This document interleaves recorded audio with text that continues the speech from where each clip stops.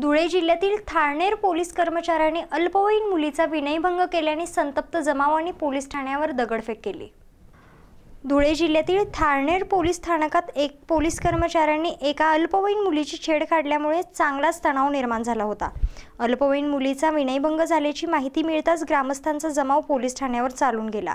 संतप्त जमावाने पोलीस ठाण्यावर दगडफेक सुरू केली. संबंधित पोलीस कर्मचाऱ्याला आमच्या ताब्यात द्या अथवा तत्काळ निलंबित करण्याची मागणी ग्रामस्थांनी केली.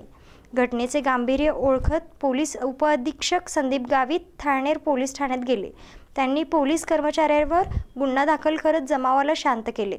ज्या मुलीची छेड काढण्यात आली होती ती गतिमंद असल्याची माहिती समोर येत आहे. ग्रामस्थांनी कर्मचाऱ्याला पण चांगलाच चोप दिला असल्याची माहिती असून संपूर्ण थाळनेर गाव या घटनेनंतर बंद ठेवण्यात आले होते. या घटनेची माहिती पंचकृषीत झपाट्याने पसरली आणि पोलिसांवर रोष व्यक्त केला गेला.